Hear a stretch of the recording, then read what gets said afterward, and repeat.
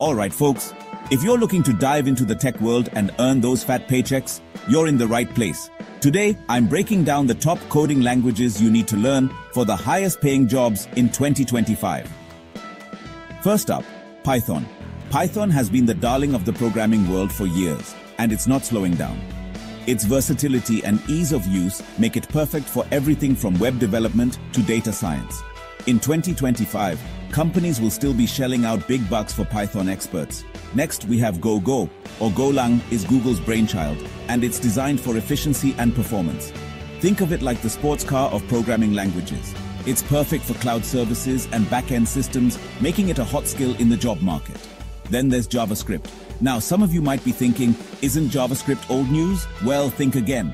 With the rise of frameworks like React and Node, .js, JavaScript is more in demand than ever.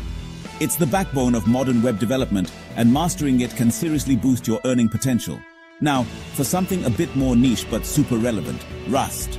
Rust is all about safety and performance. It's gaining traction in systems programming and game development. Companies love it because it minimizes bugs and maximizes efficiency. Finally, let's not forget about Kotlin. If you're into mobile app development, especially for Android, Kotlin is your best friend. It's officially supported by Google and is quickly becoming the go-to language for Android apps. So there you have it. Python, Go, JavaScript, Rust and Kotlin. Start mastering these languages now and you'll be setting yourself up for some of the highest paying jobs in tech come 2025. Happy coding. Don't forget to like, subscribe and hit that bell icon for more tech career tips.